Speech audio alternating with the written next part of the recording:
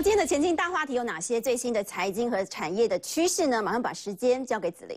好，谢谢文远哦。现在呢，很多人都会划手机，尤其台湾人最爱使用的是通讯软体 Line 了。而且呢，大家都很喜欢买贴图。照理说，应是营收应该还不错啊。不过最近却出现一些些变化喽。我们可以看到 Line 呢这家公司它的营收状况，二零一七年哦前九月它的合并营收哦是可以增加百分之一百。百分之一百一十四的哦，那二零一七年的前三季盈利率哦，它竟然有到五十八亿日元这么多，而二零一八年一到九月哦，它的合并营收只增加百分之二十四，但是合并盈利呢却是衰退百分之七十二。二零一八年第三季竟然亏损了三十五亿日元呢，那其中呢，营业费年增就百分之四十二，行销费用年增百分之一百二十七点五，这么的多哎，这个因为行销跟营业费用增加，也导致 LINE 的股价跟着大跌哦。我们可以看到 LINE 十月二十四号的股价跌了百分之十五点四五，收在三十点七块美元哦，那呢也创了 IPO 最低的记录。而 LINE 跟南韩最大入口网站 Never，它携手开发智慧助理，类似苹果 Siri 这样，要结合语音辨识跟自然语言技术来回应使用者的提问。Line 正在积极开发这块市场，很可能呢，就是因为这个部分增加了行销跟营业费用。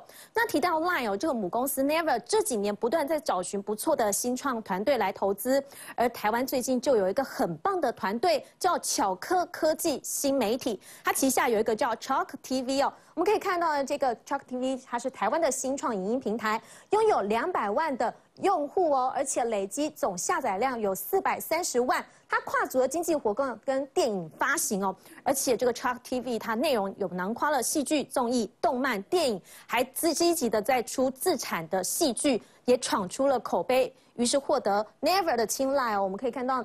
南韩的 Naver 集团就投资了千万美金哦，那一举成为最大股东。那未来双方也将持续的紧密的合作。那不止新创产业在拼双机哦，就连。交通平台也一样要在进化，像 Uber 目前租车跟食物配送服务用户大约是一亿人，在过去两年中，他们用户提升了六千万人次，所以他们就有了想要 IPO 的计划喽。那他们想要 IPO 计划目标就是希望可以达到十亿的用户，而且希望它的估值可以到三兆元。那他们也想要当成交通运输界的亚马逊哦，野心非常的大。那希望呢，这个业务规模有六百个城市。但是，二零一七年亏损了一千三百五十亿哦，这个巨额的亏损也换来了市场的占比。那 Uber 今年上半年亏了十二亿美元，第三季也亏损了八亿美元。到现在，Uber 已经进行了十八轮的融资哦，那募集了大概。二两百二十亿美元的资金，就包括 Google 啊、百度、软银，还有 Toyota 都是 Uber 的股东哎。为了增加营收哦，他们也有外送服务哦。我们可以看到，就是 Uber Eats 哦，它三年的营收就一千八百亿了，而且每年都以百分之两百在成长。他们现在要筹备无人机队哦，预计三年内就会投入服务。那提到无人机哦，现在呢有很多大厂在投入无人车。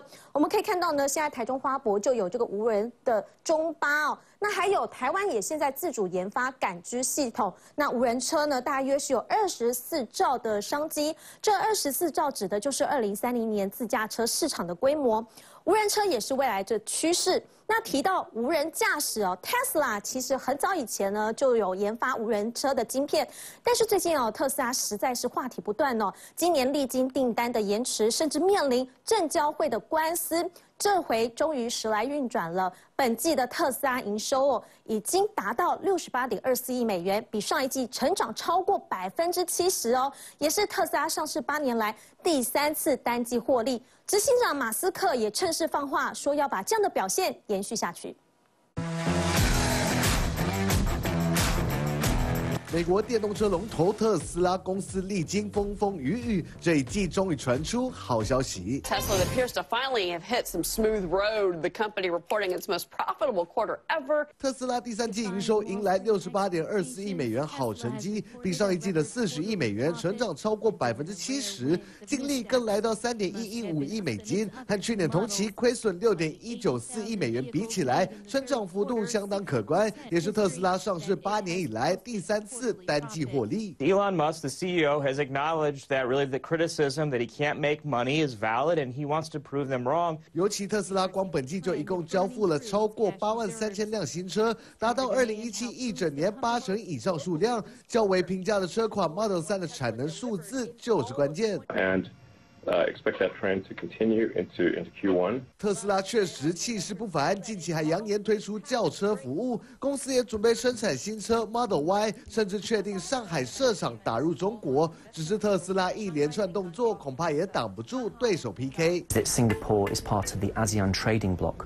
which has a free trade agreement with China, which is the world's largest automotive market. 英国家电品牌 Dyson 确定进军电动车市场，八月份先投入了两亿英镑，大约 新台币八十亿元。如今确定设厂新加坡。Dyson is notoriously secretive about its research and development work, so we don't really know a lot about the vehicle. Dyson 预计工厂十二月动工，明年完成建厂，二零二一正式推出电动车，进度马不停蹄，就是要在电动车大饼中分得一杯羹。三立新闻陈泰报道。那看完电动车商机，来看现在最夯的黑金哦。因为冬天要来了，很多人最喜欢喝热乎乎的咖啡。根据调查，台湾人爱喝咖啡，估计一年市场的规模就超过四百亿元。现在超商业者也都准备好要抢这块大饼了。我们可以看到呢，OK 咖啡哦，它呢跟 UCC 品牌做合作。而小七的 CD Cafe 哦，它现在推出八款的咖啡杯新色哦，四款限量杯套，就是希望可以抢向上班族的这块市场。而全家的 Last Cafe 哦，它呢也推出了秋季限定烤栗子。风味拿铁用比较特殊的口味来吸引消费者哦，而莱尔富的 High Cafe 哦，它就是有这个厌世早晨系列，而且还有全新的限量冰岛杯。而这样像莱尔富就有这种什么睡不饱的摩卡、纯放空的摩茶，这种很厌世的名字哦，相信一定会吸引很多上班族的目光。那现在甚至哦，什么东西都会讲求无人，从超商量贩到无人店，如今哦，这个无人店也吹进了百货公司，有业者就引进造价千。千万的现冲咖啡机器手背，在馆内打造全台首座的自动咖啡。这个“智”是自动的，呃，智慧的“智”哦，自动咖啡哦。那它是全台第一座，也是二十四小时全自动的操作。那它接受现金跟悠游卡哦，要抢攻 B 经济这一块哦。那它冲泡一杯咖啡哦，只需要两分半哦。点餐机台也有中英文选择，方便外籍旅客可以自由点选哦。提到咖啡哦，原田燕咖啡哦，它这一开幕已经。一个月了，店门口前哦还是天天涌现排队人潮。那这股从日本掀起的手冲咖啡杯哦，就开始袭向台湾。年底呢，还有蓝瓶也要进驻了。现在连超商也想抢这块新市场，他们就推出类手冲的口感咖啡，但是卖的却是铜板价呢。香醇黑咖啡缓缓流出，散发微微莓果香气。超商看准黑金商机，尤其原味美式八年来总共卖出两千零二十万杯，让业者决定和知名品牌策略合作，从原豆下手提升品质。如果是相比在一般机器的话，会比较接近手冲的咖啡。入口温顺，类似手冲咖啡，不同的地方就在于咖啡豆不使用日晒手法，而是采用工序复杂的水洗式。让口感干净，不带杂质。消费者到超商也可以喝到，就是类似手冲感的一种咖啡的感觉。那我们用水洗式的咖啡豆去萃萃取咖啡精华，打出咖啡豆升级不加价，预计能够带动业绩成长三十五趴。其实业者愿意多花成本提升美式咖啡品质，正是因为手冲咖啡风潮已经悄悄从日本吹向台湾。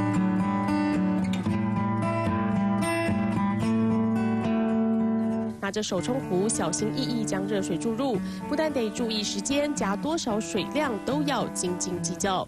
知名品牌蓝瓶就是靠手冲咖啡闻名，预计年底将在威风南山开幕。而早他一步来台的原田店，开店至今超过一个月，还是日日大排长龙。超商现在以低价高 CP 策略，企图来分食手冲新市场。财经新闻胡国祥为您报道。